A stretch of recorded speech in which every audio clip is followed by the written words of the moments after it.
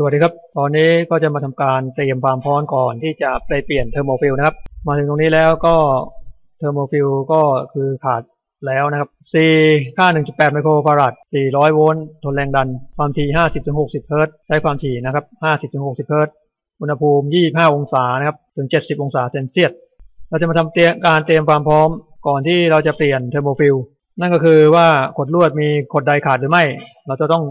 วัดก่อน ถ้าทุกขดไม่ขาดก็นั่นก็หมายความว่าใส่แล้ว ก็หมายถึง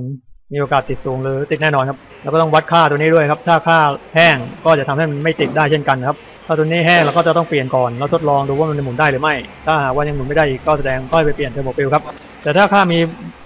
ไม่แห้งเกินไปก็ แสดงว่าเสียที่เทอร์โมฟิวส์อยู่แล้วครับ ถ้าแห้งสนิทหรือเกือบหมดเลยนะจะทำให้ไม่มีแรงสตาร์ทนะครับทำให้พัดลมไม่ติด วัดได้เจ็ดร้อยแปดสิบสามโอห์มครับเจ็ดร้อยแปดสิบสามโอห์มนะครับ ตั้งไปที่ย่านโอห์มนะครับ วัดโอห์มได้เจ็ดร้อยแปดสิบสามโอห์มครับ การวัดที่สายสีเทากับสายสีส้มนะครับ สายสีเทาก็คือสาย run นะครับ ที่ผ่านเทอร์โมฟิวส์มาแล้ว ส่วนสายสีส้มก็คือสายสตาร์ทได้เจ็ดร้อยแปดสิบสามโอห์มนะครับ0.78 k โอห์ม ถ้าวัดได้อย่างนี้ก็แสดงว่าขดลวดทั้ง 4 ขดนะครับสตาร์ทขดที่ 1 สตาร์ทขดที่ 2 สตาร์ทขดที่ 3 แล้วก็ขด run ทั้งรวมทั้งหมดขดลวดมี 4 ขด ก็จะสตาร์ทมี 3 ขดขด run มี 1 ขด แสดงว่าไม่ขาดครับ ให้ปรับไปที่ย่าน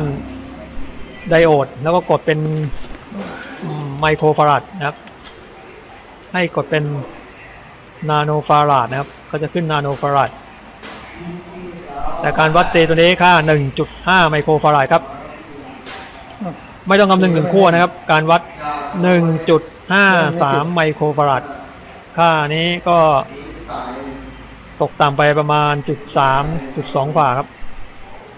ตกต่ำไปจุดสองฝ่า ซึ่งไม่เป็น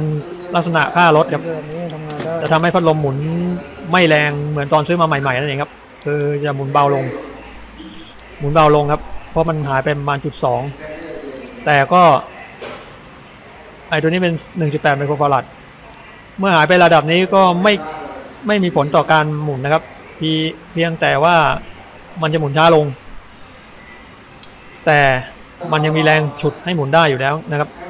1.5 นี่ก็ถือว่ายังหมุนได้แรงนะครับ แต่ยังจะไม่แรงเต็มที่เท่านั้นเอง แต่ก็หมุนได้แรงทีเดียวนะครับ ถ้าไม่สังเกตจริงๆ ก็จะไม่รู้เลย นึกว่ายังแรงปกติด้วยซ้ำ ทีนี้ผมก็ได้เขียนข้อมูลไว้นะครับ ก็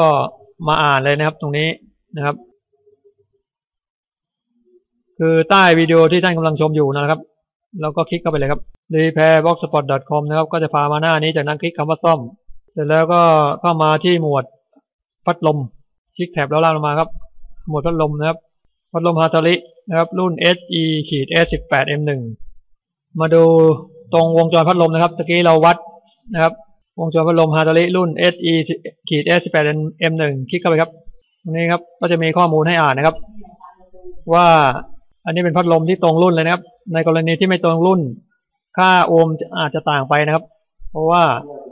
อาจจะมีการเปลี่ยนแปลงเรื่องของขดลวดนะครับ ค่าของมันนะครับ เพื่อให้เหมาะนะครับ ซึ่งอาจแต่ละรุ่นอาจจะไม่ตรงกันครับ ถึงจะเป็นรุ่น 16 นิ้วด้วยกันก็จริง อันนี้ก็คือวงจรนะครับ วงจรพัดลมฮาตาริรุ่นที่กำลังซ่อมอยู่นี่นะครับ HE ขีด S18 M1 แต่บางคนสงสัยว่าทำไมเทอร์โมฟิวส์ขาด แล้วเราไปวัดตรงนั้นที่ตะกี้ผมวัดทำไมมันวัดขึ้นนะครับ ตรงนั้นไม่ได้วัดเทอร์โมฟิวส์นะครับ สังเกตตะกี้ผมวัดที่สีเทาตรงนี้นะครับ กับสีส้มนะครับ ได้โอห์ม780นี่นะครับ วัดโอห์มข้าม C วัดขดลวด รวมทุกขดได้ 795 โอห์มแต่ทำไมผมผมวัดตะกี้ได้ 780 โอห์ม อันนี้ถ้าผิดไปนิดหน่อยไม่เป็นไรนะครับ ผิดไปประมาณ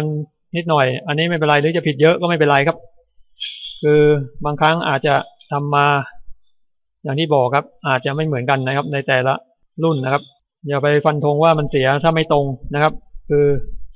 ก็ให้รู้ว่าเออวัดแล้วมันขึ้นก็แสดงว่ายังไม่ขาดนั่นเองครับ เราก็จะต้องใส่เทอร์โมฟิวส์เพื่อทำการทดลองต่อไปครับ ถ้าทดลองแล้วเปิดแล้วติดลมแรง ใช้ได้ก็แสดงว่าใช้ได้ครับ อย่าไปสนใจค่าขดลวดจนเกินไปเมื่อกี้ผมวัดตรงนี้ตรงนี้นะครับ เป็นการวัดสายสีส้มนี่ก็คือสตาร์ทคนที่หนึ่งนะครับ ผ่านสายสีดำมานะครับ เป็นสตาร์ทคนที่สองแล้วก็ออกมาเป็นสตาร์ทคนที่สามแล้วก็ออกมาเป็นเป็นอะไรครับ กดรันนะครับ เข้ามาที่ตรงนี้นะครับ สังเกตว่าตรงนี้เป็นขดลวดสี่ขดหนึ่งสองสามสตาร์ทมีสามขด ขด run มีหนึ่งขด ที่เราวัดก็คือสี่ขดรวมนะครับ ส่วนเทอร์โมฟิวส์อยู่ตรงนี้ครับ สังเกตเทอร์โมฟิวส์จะอยู่ตรงนี้ ดังนั้นเมื่อเราวัดตรงนี้ก็ไม่ได้วัดเทอร์โมฟิวส์ครับ เมื่อวัดตรงนี้ก็จะเป็นการวัดการเตรียมความพร้อมในการใส่นะครับ ถ้าเกิดมันขาดก็แสดงว่าไม่ต้องใส่ครับ เราจะต้องไปทำการพันมอเตอร์ใหม่ครับ หรือซื้อมอเตอร์มาใส่ใหม่นะครับ อันนี้เราก็จะต้องเตรียมความพร้อมก่อนเทอร์โมฟิวส์จะอยู่ตรงนี้ครับสายไฟ AC นะครับเข้ามาที่ที่ฐานของพัดลมนะครับ มันจะจำเป็นสีขาวนะครับ สีขาวก็จะขึ้นมาที่ที่ที่ขดลวดเลยครับเทอร์โมฟิวส์ตัวนี้จะแปะอยู่ที่ขดลวดนะครับเทอร์โมฟิวส์ตัวนี้มันจะแปะอยู่ที่ขดลวดแบบสนิทเลยครับ แล้วก็มัดไว้ด้วยสายรัดนะครับเราจะรัดไว้แน่นเลยนะครับ เมื่อเกิดความร้อนเทอร์โมฟิวส์ตัวนี้ก็จะขาด หรือใช้กระแสเกิน ถ้าเกิดมอเตอร์มีการช็อตรอบกระแสเกินฟิวส์ตัวนี้ก็จะขาดครับฟิวส์ตัวนี้ก็จะมีค่าอยู่ที่ร้อยสี่สิบองศานะครับ ร้อยสี่สิบองศาเซลเซียสแล้วก็กระแสไม่เกินสองแอมป์นั่นหมายความว่าถ้าความร้อนที่ขดลวดขึ้นถึงร้อยสี่สิบตัวนี้ก็จะขาด เกินร้อยสี่สิบนะครับ ก็จะขาด เพราะมันผูกติดกับขดลวดไว้นะครับ มันก็จะขาดได้ เพื่อป้องกันขดลวดพังนั่นเอง แต่ถ้าเกิดมีมอเตอร์เกิดช็อตรอบ เมื่อช็อตรอบมันก็จะกินกระแสเยอะขึ้น เมื่อกินกระแสเยอะเกินกว่าที่มันกำหนดก็คือสองแอมป์มันก็จะขาดไปในที่สุดได้เช่นกันครับ แต่อันนั้นก็จะเป็นลักษณะช็อตรอบ ก็คือต้องไปพันใหม่ หรือซื้อมอเตอร์ใหม่ แต่ถ้าหากว่าเป็นการขาดในลักษณะความร้อนสูงเกินไป เราก็เพียงเปลี่ยนเทอร์โมฟิวส์